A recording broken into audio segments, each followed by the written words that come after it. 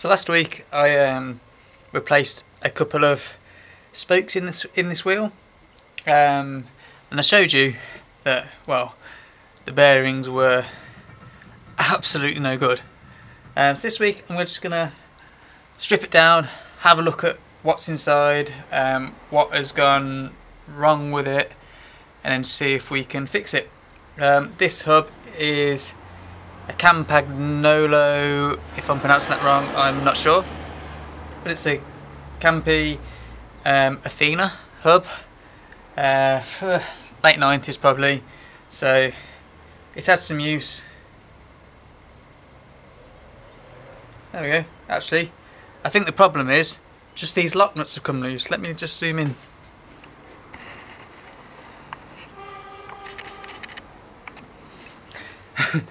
so as I was talking to you then, I just moved these lock nuts and uh, they were there. And you can see the wheel, the rim moves around but I just wound them down and it stopped all the rotation. So we're going to strip it down anyway. Um, think I found the problem straight away. Loose lock nuts but we're going to strip it down and uh, see what's what. So normally to do this you just need your cone spanner find which one fits in there. And then for this one I'm going to need the second cone spanner.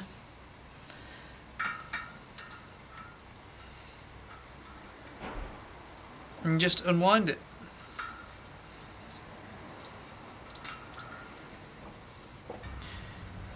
Top lock nut. Couple of washers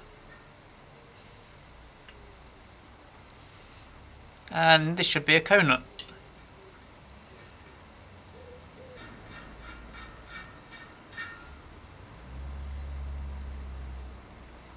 That looks alright. It's going to need a bit of cleaning up but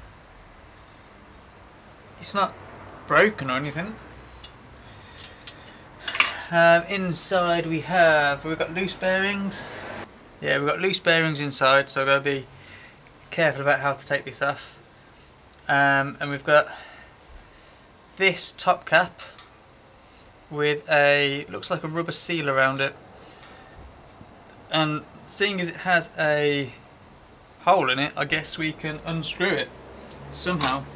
Good, so what I'm going to do instead is just flip the axle over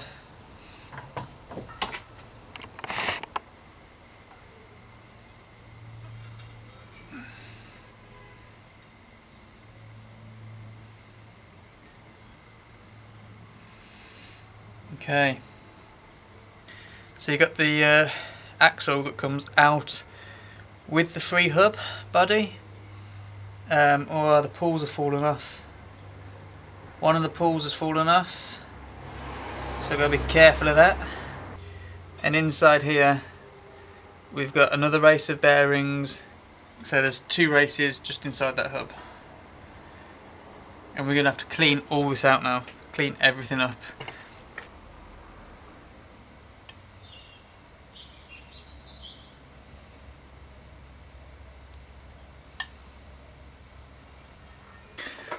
So here's something should take note of. Carefully remove the bearings.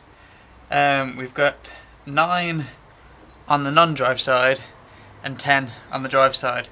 Now the ones on the non-drive side are bigger, they look like quarter inch bearings. So it looks like we've got 9 quarter inch bearings on the non-drive side and 10 732s um, so I'm going to have to either clean these up or go out and buy some 732s. So I'm just cleaning everything down now. Um, cleaning the axle and free hub assembly. Um, and on this this free hub, um, you've got the pawls which are here. I mean, you can just see them. There's three of them, uh, and they are on springs they're on springs and if you're very gentle you can take them off uh, so you've got the little dimple in the spring which seems to go on the end. And then when it's inside, when it's all together, it will sit inside like so. And the spring just pushes it out like that.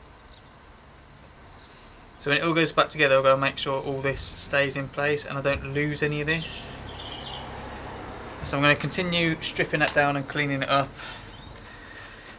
And then we'll get back to you. Okay, let's see how this goes. Um, bottom half is clean underneath. Uh, but I want to just... I mean, it spins nicely. But there is obviously a bit of dirt and grit that's just gone in the top. So I want to see if I can loosen it up um, and clean it out so it lasts a little bit longer.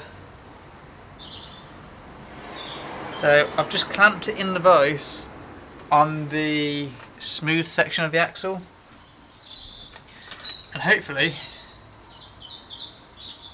well actually I'm not actually sure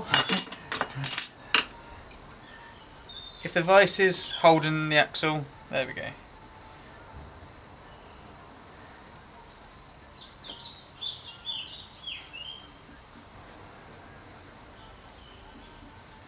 Ah, interesting. Okay. Well, that came off regardless, but there is actually a little uh, grub screw, which is in the side here, uh, which should line up with the keyhole in the axle. So that obviously wasn't wound in well enough if I managed to remove it. Underneath that we have a little spring washer. Another washer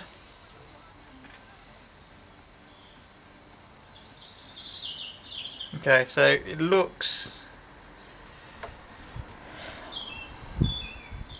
ah there we go it's just a press fit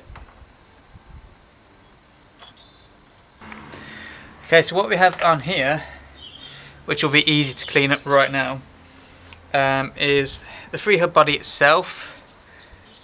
Um, you've got the axle, but there's uh, actually press fit bearings inside the free hub body, so we can't service those really. So what we can do is just clean everything out and then put some new grease around the axle itself and uh, reassemble it.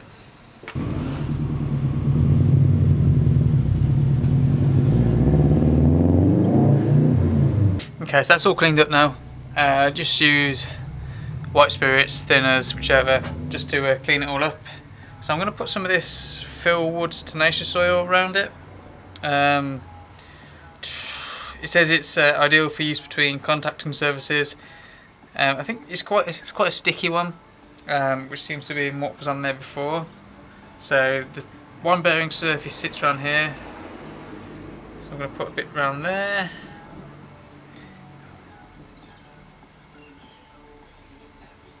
And then the main sort of shaft sits around here, so I'm going to put a good bit around there.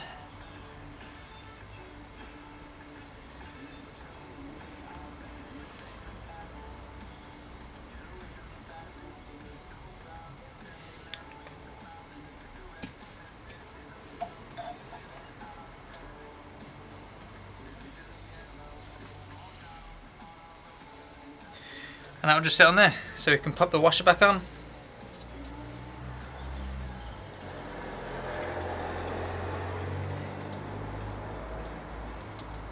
There we go. Pop the spring washer back on and then the lock nut.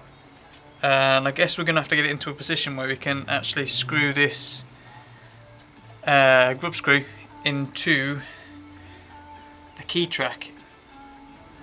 Like that's tight there so my grub screw is round on the back side, so I'm just going to back it off slightly just till the grub screw goes into the slot.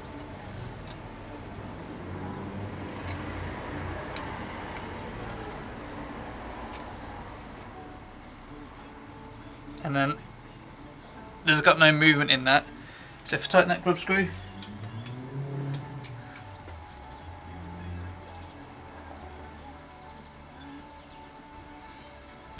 that in theory should act as the lock ring.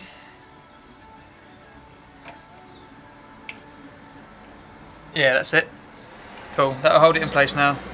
So that's one side, one side serviced. Well, what I've got to do actually is replace these springs from the pawls. Uh, yeah, unfortunately, zoom in. Unfortunately, this is the full size. This is the size of two of them that came out. So there's a there's a little bit of a difference there. Um, it seems that they have just worn and just broke. Um, so I'm going to try and find some replacements for those because I don't want the performance of the pawls to be affected. Uh, so that's kind of what I can do now. So the next clip will be once I have those pawls. Okay, new bearings time. Um, had to order some because I didn't have the 732s that I needed. 730 seconds. Um, so I had to order some new ones in. Uh, I got them here. Got a little baggie with them in. Got a quarter inch, so we needed 10 732s in this side and uh, 9 quarter inch in the other side. It's all cleaned out. I've just cleaned it out with thinners. Um, let it dry and made sure all the old grease is out there. So I'm just going to put a bit of the new grease in once I've got these new bearings out the packet. So I'm just using some Weldtite TF2 um, grease, red grease, got some Teflon in there as well. So that's just going to go into here.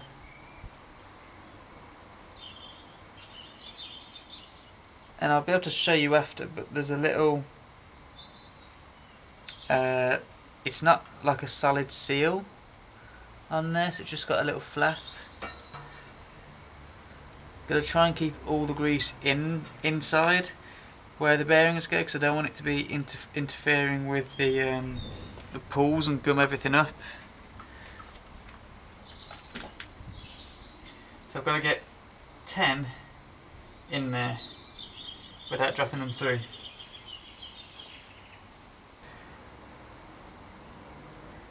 One.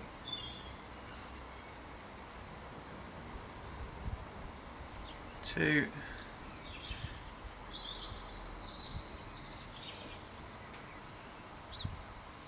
Three. Ten. Easy as that. And um, that is what it looks like on the inside. Let's Just check you can see that on the camera. So you can see the new bearings in there. The clean sort of, uh, what do you call them, ratchet mechanism for the pawls. And uh, the rubber seal that is keeping out the uh, thick grease because I don't want these pawls to come up. So try and keep that clean. So now just flip the uh, flip the hub over and install the quarter inch in the other side. Again just cleaned out thinners, brake cleaner, whichever you've got. Just make sure it's all clean in there. Check for any corrosion spots because uh, obviously any corrosion spots are going to have an effect on the bearings and make them run rough. No grit in there. Put the fresh grease in. Put the 9 quarter inch bearings in. And Bob's your mother's brother.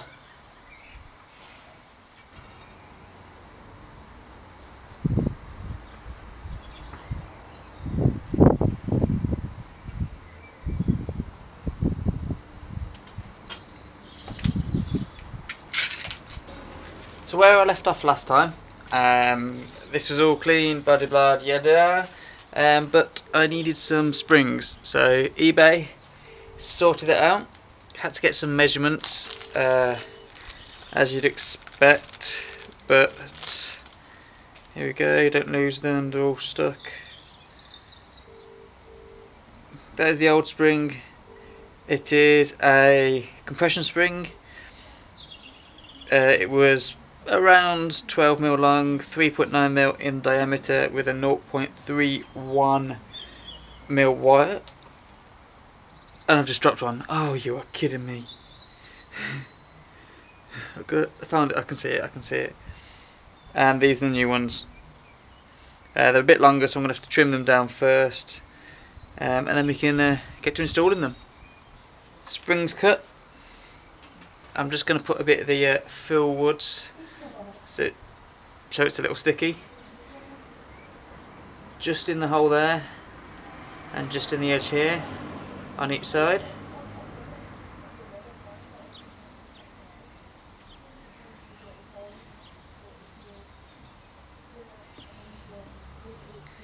Because I don't want these uh, I don't want these to wear out, so uh, I'm just going to put a drop in the hole on the pawl as well. And then we'll see if the new spring fits. And stick it in the end. That fits.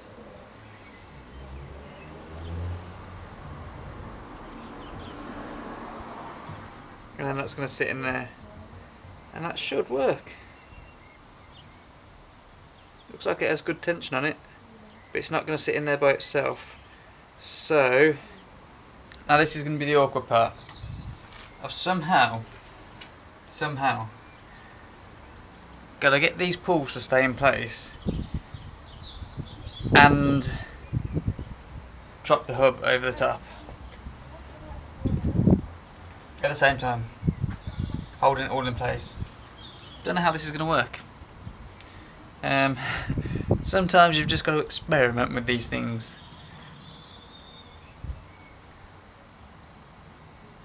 So I need to try and hold these in place. Remember these are all greased up.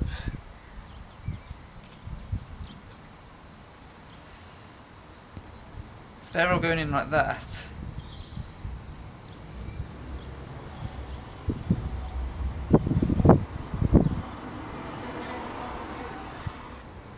Lower this wheel over the top. Oh, it's popped out already.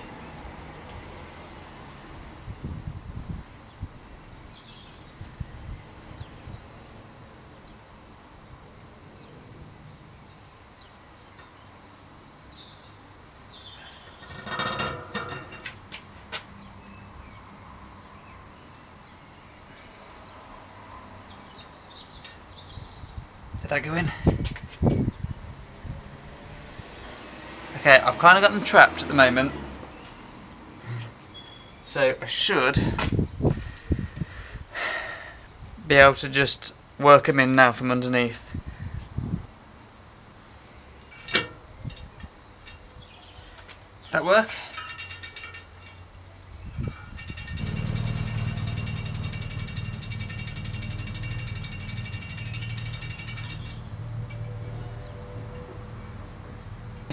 Final part, just winding these series of washers, cone washers, lock nuts back on.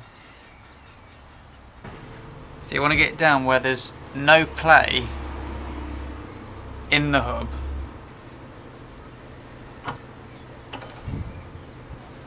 But the bearings spin freely. Now the hub came with these washers which aren't very nice. Uh, they're kind of deformed and they're not going to go over properly. And there should be around about a 5 mil clearance between the end of the axle and this top lock nut. Um, this lock nut has a serrated surface on so that it grips the frame. Um, and obviously we've got a gap underneath where these two washers, actually maybe plus a bit more, Nah, about the thickness of these two washers will go, but I want to see if I've just got any others because uh, these are kind of well horrible looking. So I found the um, just a different washer just to put in there. Got the spacing right and then you just need to get your uh, cone spanners again and just lock it off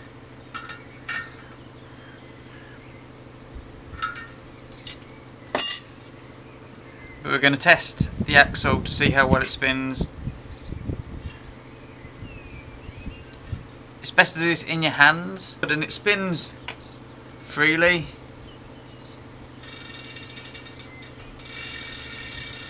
ratchets quite well. And outside the vise, now you can, that is too tight. Can feel the bearings. So that's too tight where it is.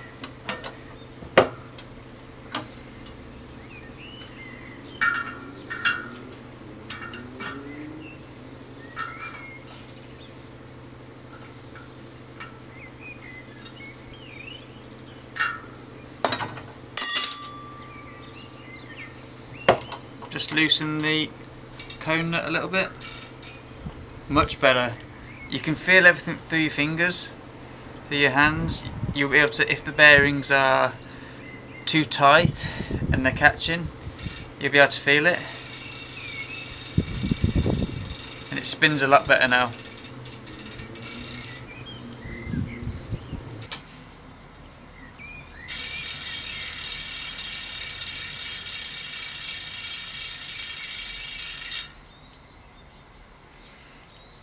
And there we go. One rebuilt Campagnolo uh, Athena hub. It should fit an 8 speed cassette now, I believe. I don't know about 9 or 10 speeds. Well, tend to be 8, 9 and 10. Um, but yeah, I've got this nice wheel now. I don't know if I've got any use for it. But it was a fairly simple fix. Serviced the hub today. Did the spokes last week it's good to use again. But I hope this little video was useful. Um, if you're doing a hub service of your own. Um, the only really tricky part is getting those pawls, the springs to stay in place while you drop it in. Um, that was tricky. The rest of it's um, just a fairly simple strip down, clean, replace bearings, replace grease. And you've got a, uh, a nice hub that spins freely again yeah, that will last for thousands more miles now. So, thanks for watching. Subscribe for more. Hit down in the comments what you liked, what you didn't like and all that. Um, and I will see you in the next video.